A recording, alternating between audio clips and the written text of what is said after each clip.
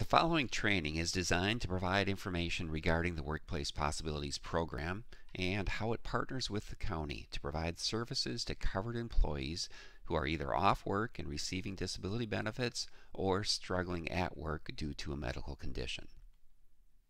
So who is the standard?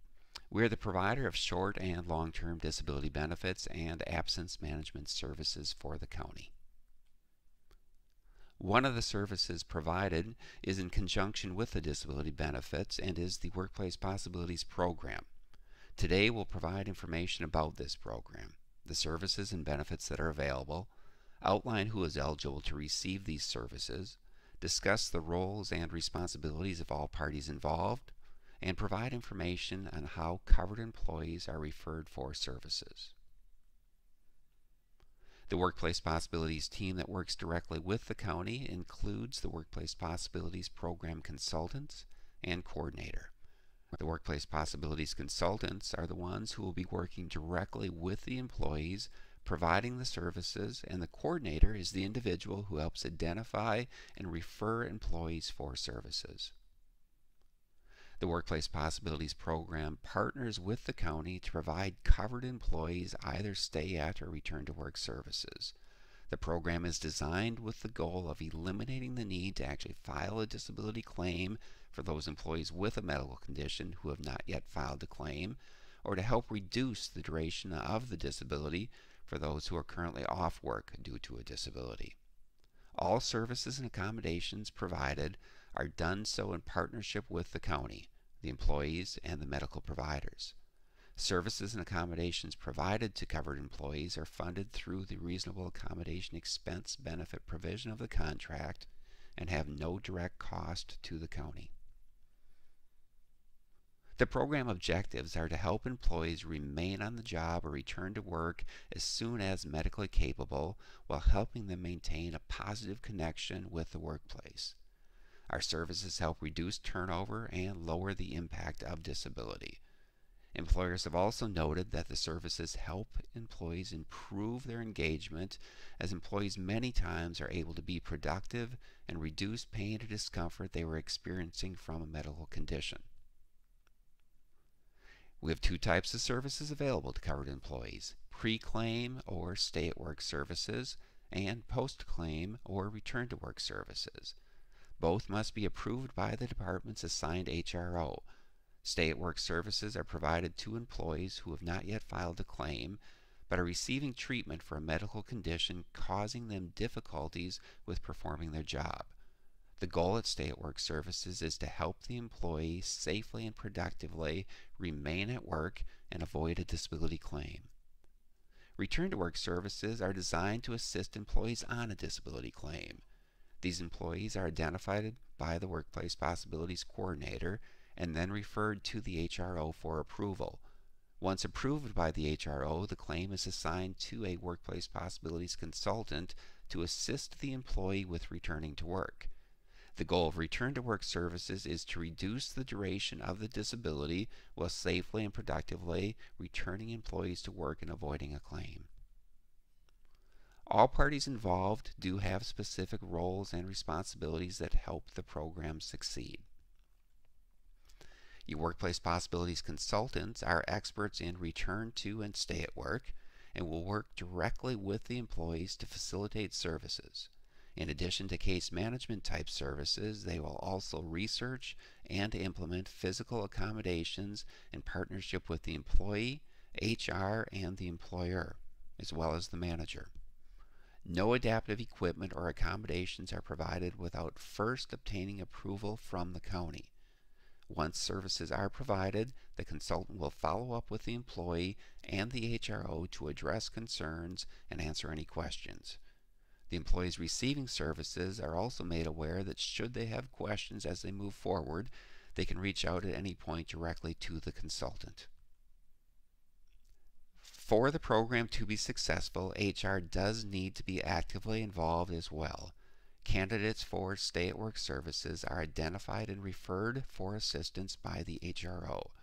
They approve candidates for return to work services, work closely with managers in complex cases, and coordinate with the consultants during the accommodation process.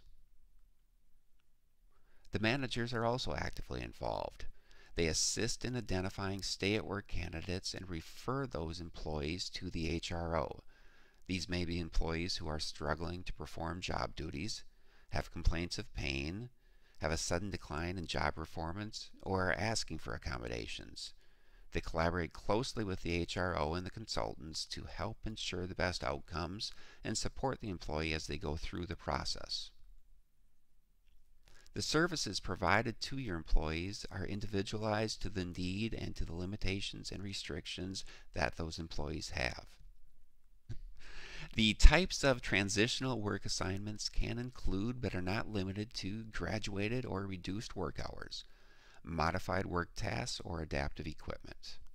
If adaptive equipment is provided, this is maintained and owned by the county, except for personal items such as hearing aids or footwear. All equipment is funded by the standard through the reasonable accommodation expense benefit, and there is no direct charge to the county for any of the services or equipment provided. Some examples of return to and stay at work services are listed on this slide.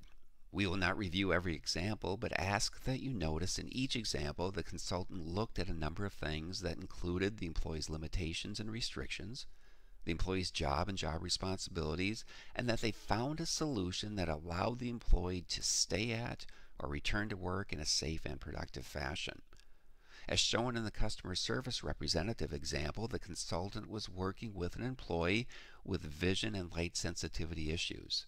The services provided included a consultation with the employee and the providing of customized tinted glasses to filter fluorescent light. This would be an example of an accommodation that the employee would keep should they ever leave employment with the policyholder. The director who suffered from lumbar pain and stiffness and was provided with an ergonomic assessment, a sit stand desk, a chair, a headset, a mouse, and a keyboard with pad are examples of accommodations that allow the employee to stay on the job and these would be examples of things that the employer would keep and could use for another employee should this individual cease their employment with the policyholder. To help ensure that the services we provide are meeting the needs and providing services in an appropriate fashion, surveys are sent to employees at the time of closure to gather comments and feedback. It is important to note that stay at work candidates can only be identified by you, the employer. There has not been a claim filed as yet, so the standard or the Workplace Possibilities Program does not know who the employees are that could benefit from stay at work services. Stay at work candidates can only be identified by supervisors or the HRO when employees ask for assistance. The supervisors may notice an employee's struggles and offer help. Benefit program professionals may learn of employees' struggles and offer help. Once the HRO is notified about employees who may benefit from stay at work services, they will reach out to the employee and potentially refer them to the Workplace Possibilities Program for services. At that time, the Workplace Possibilities Coordinator will assist the stay at work process. The process is outlined on this slide, which shows step by step what happens following the identification of stay at work candidates. As shown on this diagram, the stay at work process involves and partners with the employee, HR, and the medical provider. It is this partnership that helps ensure the success of the program and brings a benefit to both the employee and the employer. Although it is rare that employees decline workplace possibilities services, they are always made aware that the services we provide are voluntary. This slide shows a frequently asked questions document regarding the Workplace Possibilities program. If you have additional questions regarding the program or the referral process, we ask that you reach out directly to your HRO. The program is in place to provide your most valuable asset, your employees, with assistance during a time that they need it the most, and we look forward to partnering with you in providing these services. Thank you.